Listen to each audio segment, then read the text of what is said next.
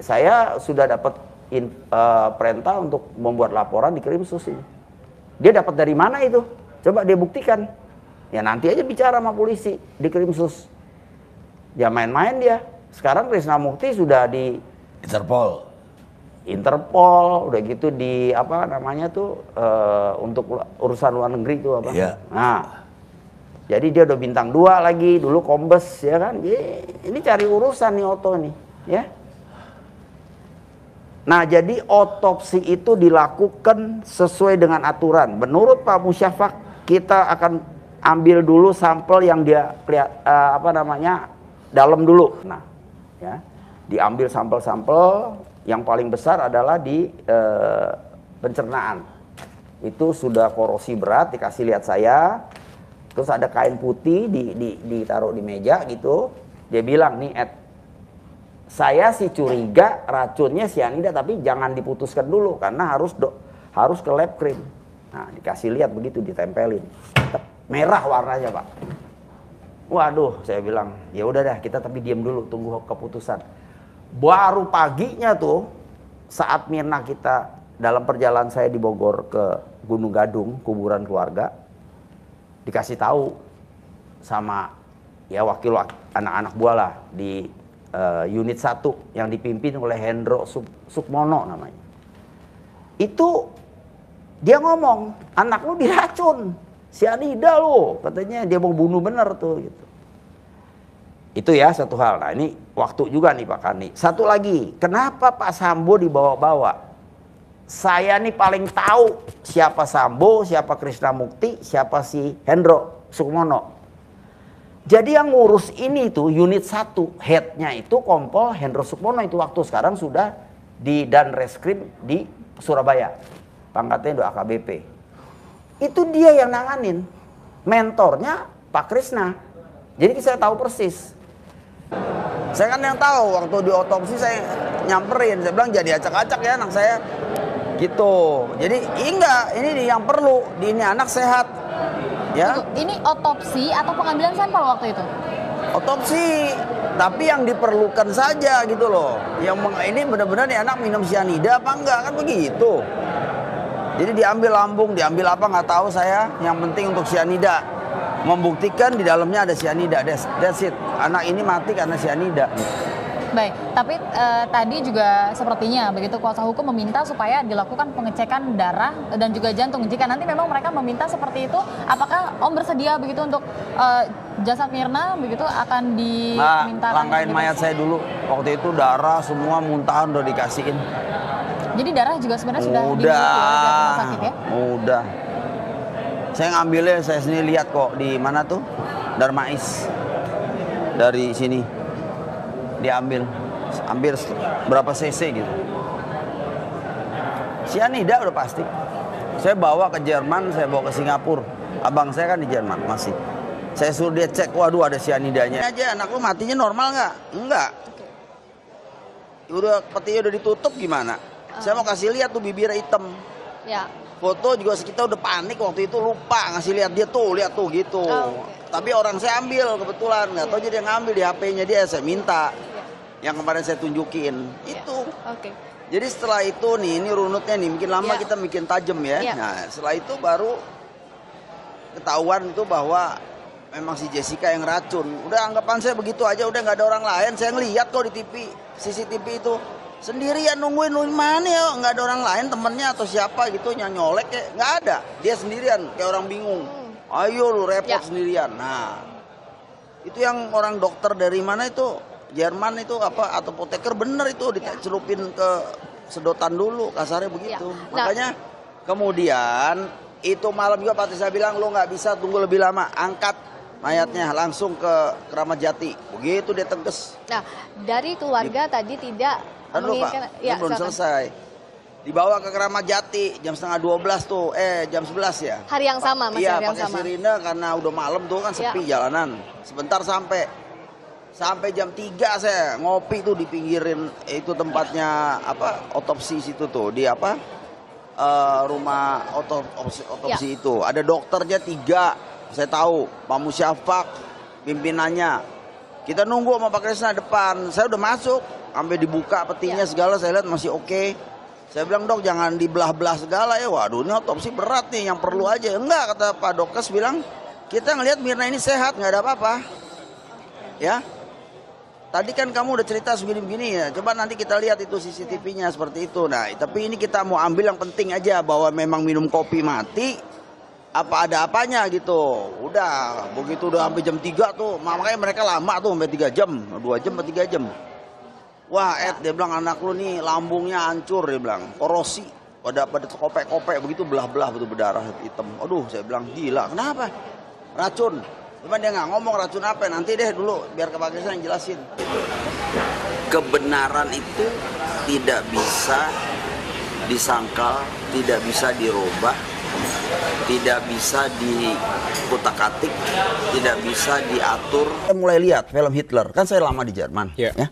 Saya lihat apakah betul iya. Jadi matinya persis kayak Mirna begitu. Jadi kalau dia udah mau ditembak atau ditangkap oleh si Nazi, Iya. itu dia telan aja tuh kapsul, cetet, langsung dalam ngomong detik jatuh Kondisinya sama, ya, seperti yang dialami kondisi sama dia keluar air liur gitu ya busa gitu, meninggal. Oke. Jadi kalau Oto mau cari-cari bukti yang lama-lama itu percuma ya itu pertama. Abi, uh, Pak Darmawan, maaf saya potong. Setelah uh, vonis pada tanggal 27 Oktober Hmm. 2016 yang lalu, ini uh, sempat uh, sebenarnya pihak yang terlibat dalam kasus ini sempat adem begitu, namun setelah uh, permohonan perba- banding ditolak kemarin itu uh, sekarang Hmm. sudah mulai uh, menyeruak lagi dan salah satu yang keluar lagi adalah statement bahwa tidak adanya otopsi yang kembali beberapa pihak menilai bahwa ini menjadi cacat dalam vonis yang diberikan kepada Jessica. Bagaimana Ya, tanggapan Anda? Itulah arogannya seorang PH-nya Jessica, ya. Otopsi itu dilakukan kan berkali-kali kita jelaskan. Saya ini kan saksi saksi yang lihat di TKP waktu otopsi. Iya. Saya masuk ke ruangan otopsi. Apa itu bukan otopsi namanya? Itu kan di Keramat Jati itu kan semua orang kalau ada apa-apa meninggal kan diotopsi di situ. Iya. Orang saya ngelihat mayat gelimpangan saya masih buka-buka itu mayat, ya kan? Saya kan terlatih untuk itu. Oke. Nah, saya lihat sendiri anak saya diapain gitu loh. Nah, tapi karena saya nggak enak sama dokter-dokter itu supaya keluar melihat nanti nggak tahan lihat Mirna di black-black gitu, saya keluar. Oke. Tetapi waktu itu yang pasti itu diambil lambungnya sampai lambung dari tenggorokan seperti yang Pak Nur eh, tadi Agus Nugroho bilang bahwa dia cepatnya tuh sampai 900 kali. Itu nggak kepikir juga oleh dokter-dokter Oke. itu. Cuman waktu diotopsi dibuka semua di sini biru udah hitam tuh mulutnya Iya. sampai ke lambung lambung eh, korosi berat berarti isinya adalah racun gitu loh. Cuman belum tahu hari itu kan besokannya baru pagi saya ta- saya tahu bahwa itu sianida.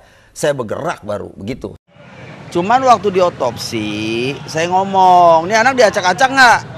Kalau diacak-acak biarin deh nggak ada case nggak apa-apa lah gitu loh. Daripada pusing nih, masa anak mesti diacak-acak gara-gara minum doang kopi gitu loh. Saya pikir kopi. Ya enggak, ini kita cari nih anak sehat. Diambil yang seperlunya untuk biar tahu ada ada apa gitu, racun atau apa itu adanya di lambung, diambil. Lambung atau apa Om juga nggak tahu orang di dalam apa forensik itu. Pokoknya jangan kutik-kutik urusan Mirna mau diotopsi lagi nih patologi. Saya masuk bui nggak apa-apa, mati nggak apa-apa, nggak takut. Coba aja deh iseng. Ayo, fight. Ya, ini Edi Darmawan bilangin masih ada kemampuan untuk itu. Jangan bercanda dia. Selesai, nanti biar hakim dan jaksa aja nentuin. Itu aja. Tapi kalau ternyata eh, permintaan dari pengadilan untuk melakukan otopsi ulang, Yang udah ada case lah udah ngapain pusing. Berarti apa permintaan Jessica negara ini kalah sama dia. Waduh, capek deh. Kalau negara udah kalah sama satu orang Jessica ya selesai. Saya nggak tahu mau ngomong apa. Nanti nih udah diotopsi habis nih misalnya, tetapnya dia bilang tuh ini tuh ono ya ya ada foto begitu sama aja bohong gitu loh. Om udah tahu kalau ini lawyernya normal, Om kasih ya udah buka deh semua memang nggak normal om. nggak normal ini orang duit yang penting duit itu aja. Dia belain apa aja. Jessica bisikin ini ikut. Jessica bisikin ini ikut. Orang gila. Baik. nih saya kasih tahu ya sekarang saya udah pikir-pikir dengan mateng. Itu dokter Theo yang bicara sama kamu itu itu betul-betul kejadian yang sebenarnya itu. Baru om sadarin. Kan pertama saya bilang dia sedot yang apa eh, Mirna sedot gitu pakai sedotan supaya ketelan duluan dia mati. Ternyata nggak begitu. Yang dokter Theo itu, nih saya unjukin nih. Di Australia ini banyak orang jual beginian nih. Itu sedotan dimasukin beginian nih. Jadi ini isinya cyanida semua, dia colok tuh. Baik, Seret. Entar dulu, entar dulu, entar dulu. Colok seret, masuk tuh cyanida, baru cemplungin ke gelas, tok. Nah, di gelasnya kelihatan normal. Mina kan datang, eh kopi siapa nih gitu kan. Dia sedot duluan, set. Itu yang pekatnya itu dia udah telan duluan, mati hitam semua. Di WC atau di mana tuh diisi cyanida serot begitu. Pakai alat seperti ini nih. Feeling saya nih, ini karena di Australia banyak. Dia kan dari sono. Ntar saya cari deh.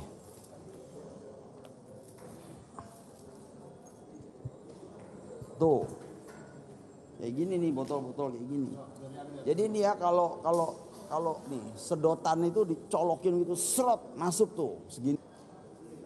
Itu kopi nggak diapa-apain karena waktu barista ngomong kan belum berubah tuh, ya. Nah, plek dia taruh. Nah, yang bagian bawah tentunya melebar dong keluar. Itu yang menjadikan si, uh, kopi jadi kunyit. Tetapi ingat di tengah-tengah yang sini nih sedotannya itu sangat pekat katanya si itu bilang tuh. Siapa namanya Theo itu. Nah, disedot sama Mirna, seret. Makanya dalam waktu detik dia langsung kolaps. Itu yang terjadi. Itu benar tuh dia ngomong. Iya, pokoknya ini biar masyarakat tahu lah. Intinya itu buktinya tuh merah begitu, cuman ngomong detik. Tuh anak kuat sekali loh, kuat. Kalau otopsi itu dilakukan di Keramat Jati. Saya sampai jam 3 pagi itu temenin polisi. Itu dia mencari apa yang diperlukan karena Mina pada saat itu sehat dan meninggal karena kopi katanya. Dicari kopinya ada apanya.